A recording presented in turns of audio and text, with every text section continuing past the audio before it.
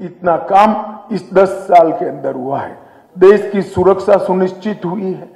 आंतरिक ये 10 साल में मोदी जी ने भारत को हर क्षेत्र में आगे बढ़ाया है।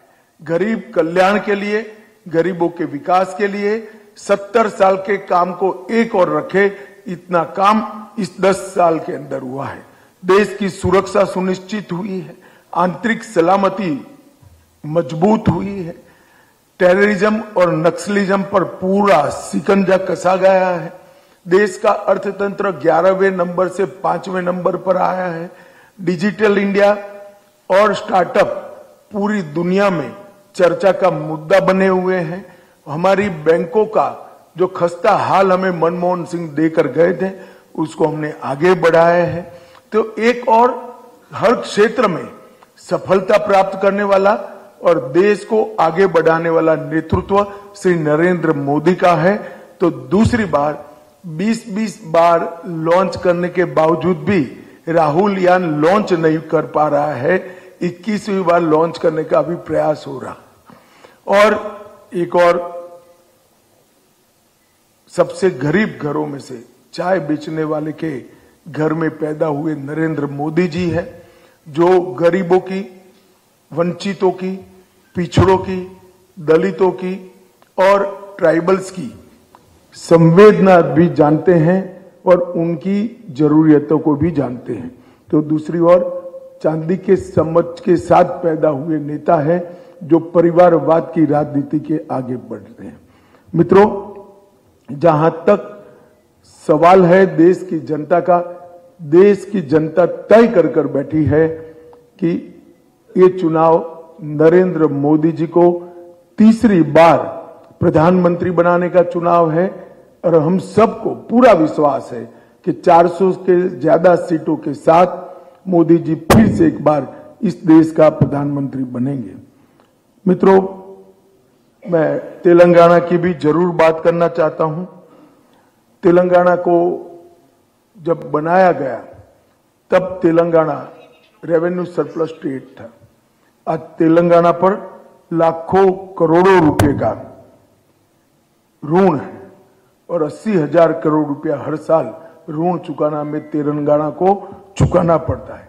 बीआरएस और कांग्रेस की सरकारों ने तेलंगाना के विकास को डिरेल किया है। जब मोदी जी ने ये 10 साल में तेलंगाना के विकास के लिए ढेर सारे काम किए हैं। चौदह पंद्रह में संयुक्त आंध्र प्रदेश की ग्रांट तिरसठ हज़ार करोड़ थी, पंद्रह हज़ार करोड़ रुपया मिलती थी। संयुक्त आंध्र प्रदेश को पंद्रह हज़ार करोड़ रुपया ग्रांट मिलती थी। आज ये लगभग तिरसठ हज़ार करोड़ रुपया मिलती है मतलब चार गुना ग्रांटिन एड में बढ़ोतरी करने का काम नरेंद्र मोदी सरकार ने किया है। इसके अलावे तेलंगाना में एक लाख पांसठ हज़ार करोड़ रुपया हमने सड़क निर्माण के लिए, बत्तीस हज़ार करोड़ रुपया रेलवे के विकास के लिए और सात हज़ार करोड़ रुपया एयरपोर्ट के उत्थान के लिए देने का काम किया है। तो एक प्रकार से हमने आज़ादी के बाद एक दशक में कभी भी तेलंगाना को न मिला हो, इतना फंड नरेंद्र मोदी जी ने दिया है। इसके अलावे 900 करोड़ के लागत से Sammakka, Sarakka, Central Tribal University बनाने का काम हमने किया है। राष्ट्रीय हल्दी बोर्ड बनाया है। तिरसठ करोड़ से Ramagundam Fertilizer and Chemical Limited, RFCL को फिर से शुरू करने की घोषणा की है। और दूसरी ओर दोनों पार्टियाँ, बीआरएस और कांग्रेस पार्टी, वो वोट बैंक की पॉलिटिक्स और भ्रष्टाचार में आकंठ डूबे हुए। परिवारवाद करप्शन बैड गवर्नमेंट गवर्नेंस और एपिसमेंट ये चारों नासुरों ने तेलंगाना की जनता को बड़ा परेशान किया हुआ है। और मुझे विश्वास है, तेलंगाना की जनता, इस बार भारतीय जनता पार्टी को प्रचंड बहुमत के साथ मोदी जी के समर्थन में ज़्यादा से ज़्यादा रिकॉर्ड सांसद यहाँ से चुना कर भेजेगी।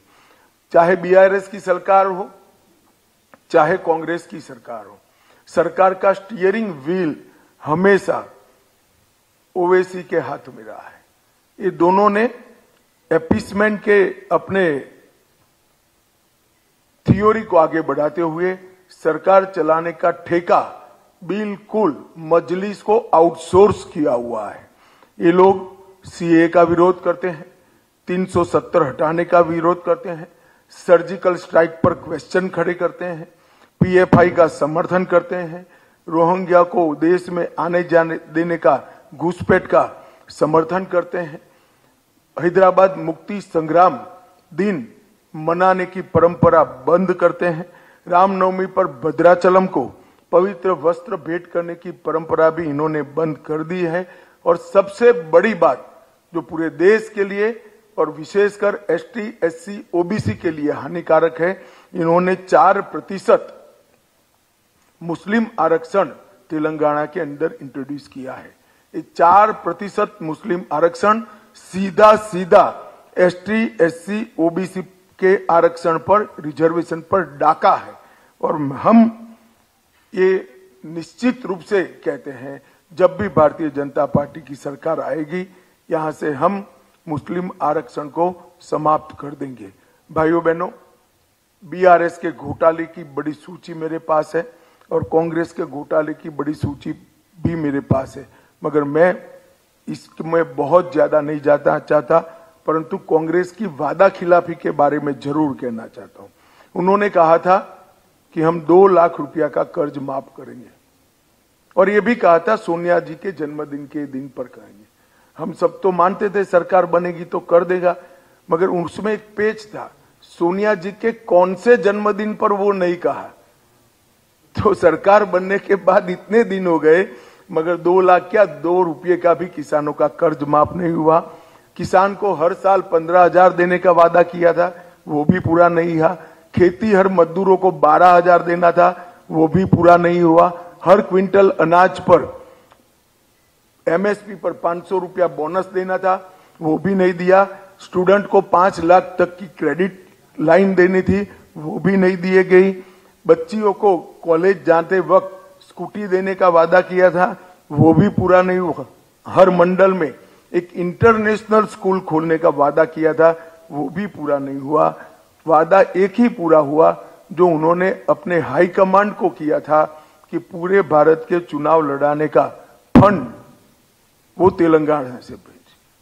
कांग्रेस पार्टी ने तेलंगाना को रेवंत रेड्डी जी ने तेलंगाना को कांग्रेस का एटीएम बनाने का काम किया है। मित्रों, कांग्रेस पार्टी आज एपीसमेंट की पॉलिटिक्स के लिए, अपनी वोट बैंक के लिए इस कगार पर पहुँची है कि वो और उनके साथी नेता मणिशंकर अय्यर जी और फारूक अब्दुल्ला जी एटम बॉम्ब पाकिस्तान के पास है, ऐसा कहकर पाक ऑक्यूपाई कश्मीर को ताक पर रखने की बात करें। मैं इस अप्रोच की घोर निंदा करता हूँ। भारतीय जनता पार्टी मानती है कि हम कभी भी पाक ऑक्यूपाई कश्मीर पर से हमारा अधिकार जाने नहीं देंगे। पाक ऑक्यूपाई कश्मीर भारत का हिस्सा है। ये इतने डेस्परेट हो गए कि झूठ फैलाने से बाज नहीं आते। वो कह रहे हैं, मोदी जी को 400 सीटें मिली तो मोदी जी आरक्षण को समाप्त कर देंगे।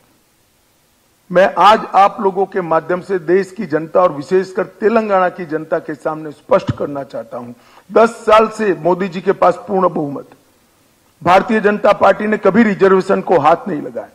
हमने हमारे पूर्ण बहुमत का उपयोग धारा 370 को समाप्त करने के लिए किया यूसीसी लाने के लिए किया।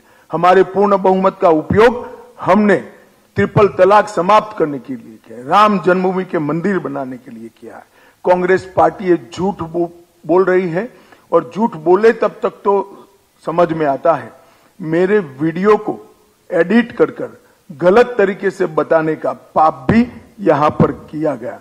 मित्रों एक, एक कहते हैं अगर वो सत्ता में आएँगे तो 370 वापिस लाएँगे। वो कहते हैं सत्ता में आएँगे तो ट्रिपल तलाक वापिस लाएँगे।